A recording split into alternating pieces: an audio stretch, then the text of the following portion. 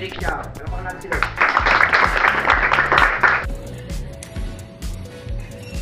Good day, magandang araw sa lahat.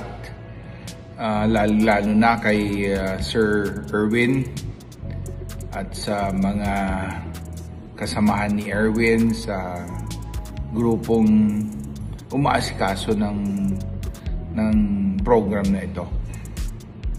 Uh, Unang-una, ako si Freddy Xiao, isang opisyal ng gobyerno. Ako ang congressman ng Lone District of Iligan dito sa Mindanao. No, I'm uh, I represent Iligan City which is around 2 hours by car to Cagayan de Oro City. Uh, magkatabi kami ng syudad dito sa bandang Northern Mindanao. Nung bata pa ako, hindi ko naman planong magiging opisyal ng gobyerno. Uh, we're more inclined towards uh, earning a living by being business people. Kasi nung nung especially yung background ko, educational background ko ay nasa business management. Ako po yung natapos ng kursong uh, Bachelor of Science in Business Management from the University of uh, Santo Tomas. Uh, yun po yung upbringing namin uh, sa sa parents namin kasi they wanted us to take care of their business. Uh, yun nga, uh, tatapos tayo ng college at uh, at uh, bumalik dito sa probinsya. I grew up pala in Iligan. I was born here. Went to college in the University of Santo Tomas and then came back and took care of our business for more than 10 years. Uh, more than 40 years. Ah, uh, 20 years pala. 20 years bago ako pumasok ng politika. Actually, I was I was um, introduced to the world of politics because I serve as the sports director ng lungsod namin at uh, binigyan ako ng opportunity ng mayor, dating mayor namin to serve the city wherein nakita ko na dami palang kulang at dami kong pwedeng may contribute sa sa lugar namin. Um, uh, then I ran for for the position of a councilor taong 2010 serve it for two, two terms which is uh, natapos ako ng 2016 run for congress at uh, tayo'y nanalo. Bilang congressman uh, serve it for two, two I'm serving my second term right now no at uh, maraming nagtatanong ano ba talaga trabaho ng congressman? Akala nila uh, madalas akala nila yung congressman at mayor magkaparehas lang yung yung function. But in reality, uh, yung congressman po ay gumagawa ng patas.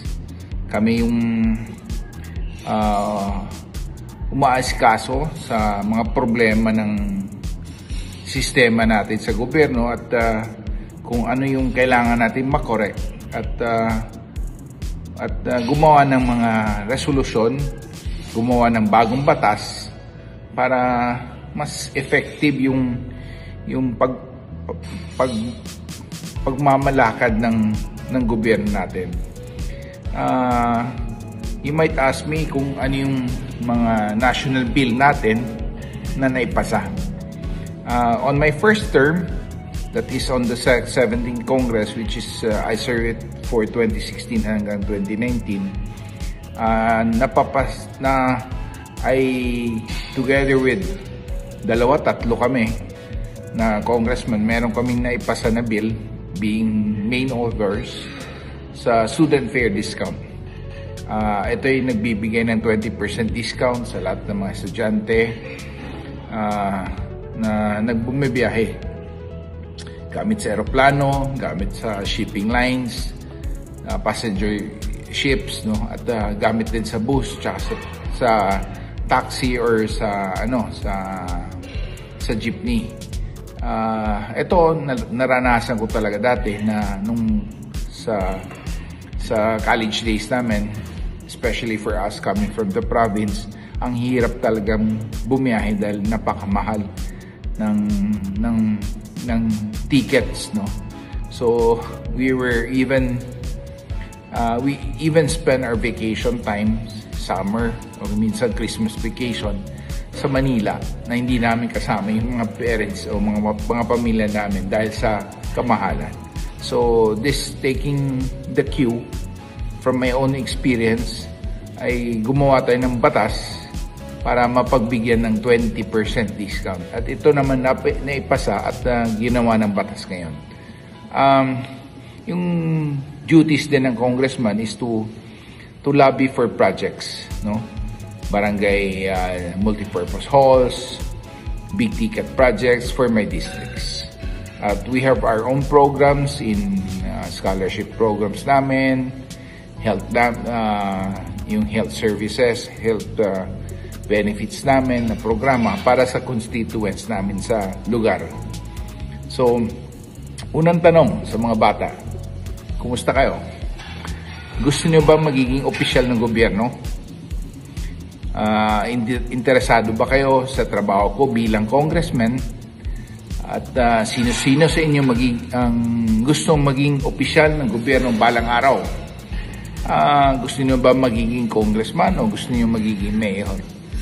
Or uh, it depends do kung sa mga bata kung ano yung nakikita nila. But uh, one thing I can advise you is uh, in order to become an accomplished o yung taong uh, yung accomplishment mo importante kasi kailangan tayo mag-aaral eh so mag-aaral ng mabuti mahalaga yung edukasyon sa maginhawang buhay. I have you I don't know if you're wondering why I was I'm wearing no right now a military uniform. Uh, ako po ay uh, nasa break ngayon ng ano namin ng ng online class.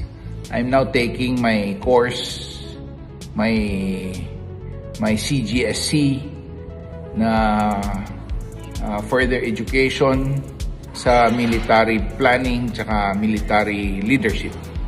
Uh, you might be wondering bakit ay hindi naman ako military because I'm part of the reservist group of the Armed Forces of the Philippines. Ako po na, ay nagiging reservist at may ranggo pong lieutenant colonel no, sa Philippine Army.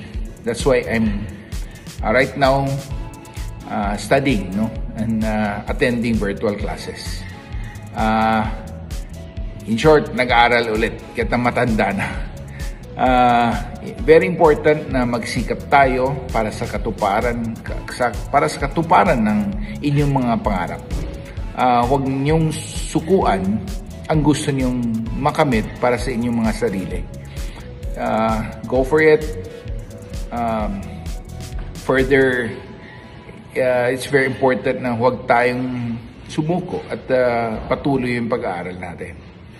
Uh, it's also very important na sumunod lagi sa batas at sa mga advices ng mga nakakatanda natin. Mga teachers natin, lalo na inyong mga yung nag nag-aalaga or sa atin no uh, yung parents natin, lola natin, lolo natin, yung someone who cares for you. So it's very important that uh, eh, sumunod lagi sa kanila, sa advices nila. So again, uh, hope I can uh, uh, say encourage you to do well sa sa klase nyo ngayon sa interaction niyo ngayon with your your fellow uh, stu- students o mga fellow uh, ano natin pupils diyan sa sa lugar niyo. So again, thank you very much Sir Erwin sa grupong nasa likod nitong activity na to at uh, hopefully uh, to everyone stay safe, no? Ingat lang uh, nasa pandemic po tayo ngayon, uh, it's very important that we should uh, be careful and and uh, be healthy all the time. So again, thank you very much at uh, magandang araw sa lahat natin. SBA, Business Administration, no? Very important anak yung pag-aaral. Mag-aaral kayo. Kung may time kayo sa maraming bagay, mag-aaral kayo. Now, kung hindi naman talaga kayang, may mga tao minsan hindi talaga makatapos ng pag-aaral, kagaya ko, pero i-improve yung sarili nyo araw-araw. Sa pamagitan ng pag-aaral, unang-una na salita ng Panginoon sa Biblia, pangalawa, pag-aaral sa aral ng buhay. Huwag mo ipahamak yung sarili mo, huwag mo ilagay ito sa kapamakan. Alam mo, mapupunta ka sa kapamakan pag ginawa mo ito, ba't pipilitin mo pang ilagay yung sarili mo doon? Gusto mo ba na malagay ka pa doon sa sitwasyon na hindi maganda kaaya-aya? Para matuto ka, yung napakasakit? Yung mahusgahan ka ng kapwa mo? Di ba? o iaayos mo na yung sarili mo at itatama mo at hihingi ka ng gabay sa Panginoon sa pamagitan ng Espiritu Santo para ikaw ay makalakad ng maayos. Hindi na yung mga anak?